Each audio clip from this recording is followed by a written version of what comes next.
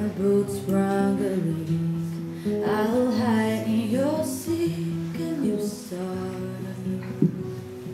for me till dawn? I'll be too gone to care how great the days, the dreams that it chases away.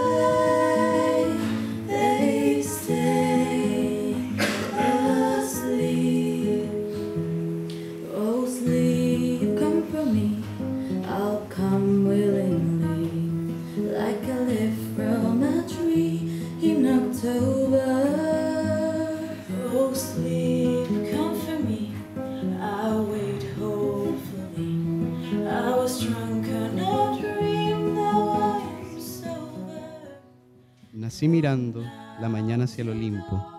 Mi sombra salió de sus cavidades, se acunó atrás de los velos. Gea descansaba. La naturaleza ofrecía un sacrilegio a una diosa con puños apretados. Fui su cueva, suerte de sus brazos, y en ese remanso de melodías, ante una lluvia lactante y atroz, se abrieron mis dedos como plantas. Te recuerdo mientras abrazo la tarde y muere el sol en un azul anaranjado. Beso el invierno, brindo por mí y la silla ausente. Cierto es que se le debe a Nicanor la gracia de cantar como se canta gran parte de la poesía actual.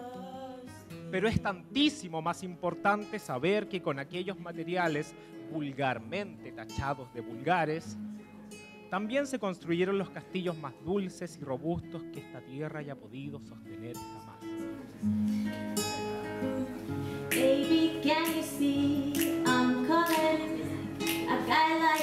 wish it were a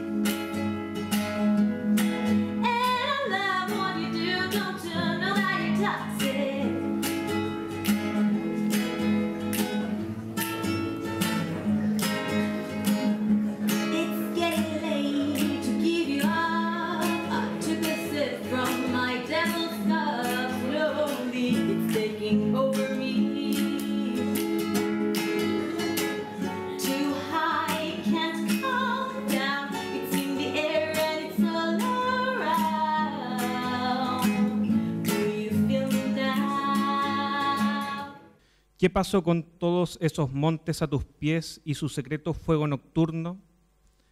El silencio del olvido permite descansar en paz. No así las pesadillas, cierta madrugada, regresando con la mitad del escuadrón mientras el gobernador cazaba a tu hermano. Ahora, lejos, el silencio ensordecedor de los grillos se eleva sobre el puente. La geografía se calca todavía con papel diamante, se extrapola con la ternura del recuerdo, se remite con el gesto vetusto de la bandera. No te diluyas si te digo que aquí, en un cementerio de tan lejos, los muertos también hablan, no desde la tumba, pero desde la rama marchita y podada del ciprés.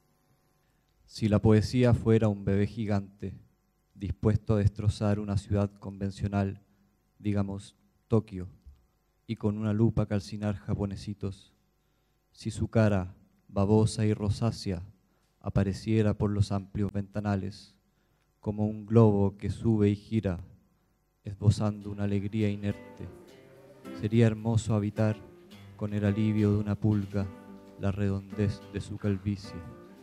la avenida del Futa Apotoki. Los oráculos y los ruegos del pueblo mapuche proclama la salvación del Gualmapu. un hombre blanco vendrá a luchar por la narración de la naturaleza muerta de los vientos del sur.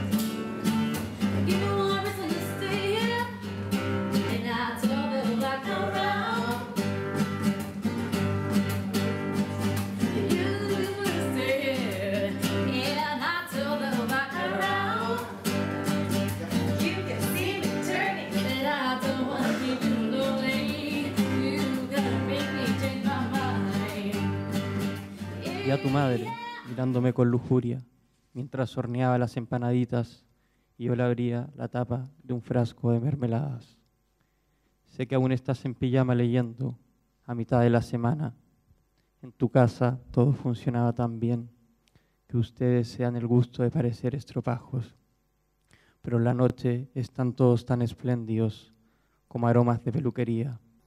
Tu lengua retorcía el gesto del tritón y apretaba al gemir una articulación de cangrejos. La tenaza describía la causa del arúspice, su eco al azotar. El hipocampo reverberaba en la meninge nupcial, dulce entramado de acuático y meneo, baba que espera, moco que aguanta, fuego que aprieta, líquen sedoso que la anguila penetra, que lombrices recorren para oír su grito de doncella.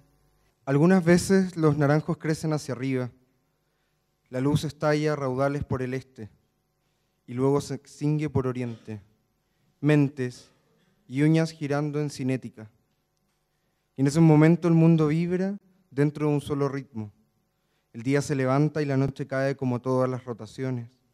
Una flor puede aparecer en los subterráneos y ya está todo contenido en el tambor de los principios.